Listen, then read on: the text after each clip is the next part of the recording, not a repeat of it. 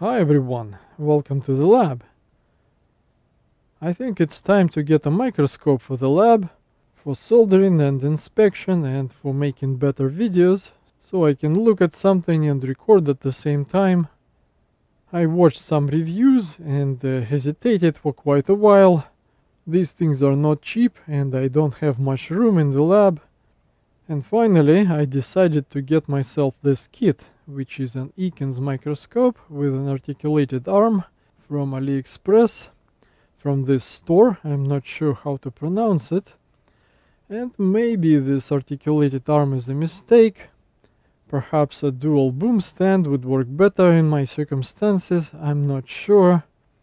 Perhaps it will take a few iterations to get things right. So this adventure begins here. Off we go. Here it is in two pieces. The articulated arm is in a separate box. Here we are inside. All pieces out of the box. This is the main part. And now a side view. A holder with focus adjustment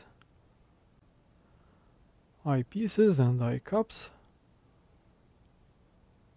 three objective lenses, 2x, 1x and uh, 0.5x. 1x is just for protection.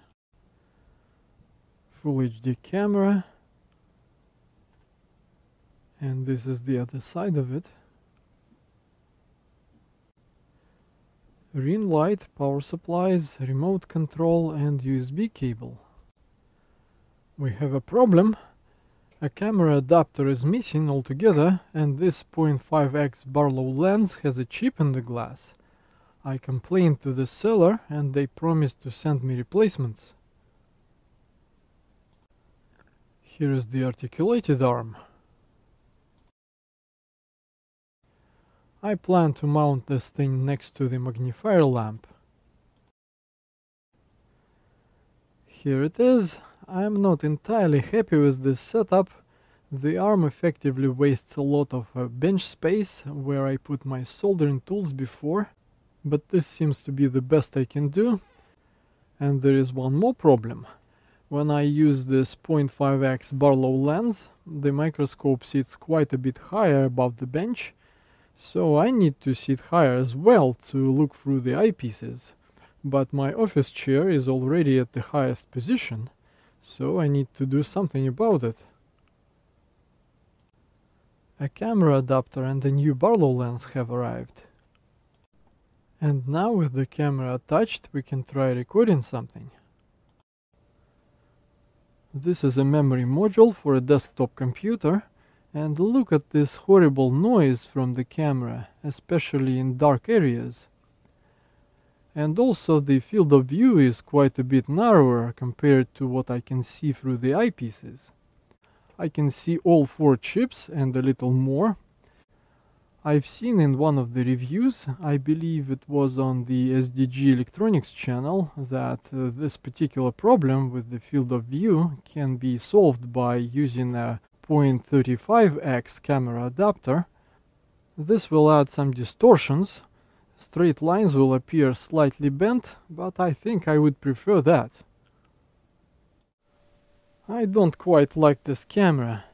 For instance, it's quite difficult to take out an SD card from it uh, or put it in. It's not enough to push flush to the surface. You need to go below the surface, so you need to use some tool and it's not quite convenient. Or maybe you can manage with a fingernail. So uh, yeah, really awkward.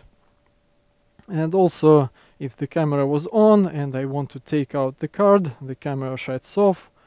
And the same thing if I put it in, if the camera was on, it shuts off.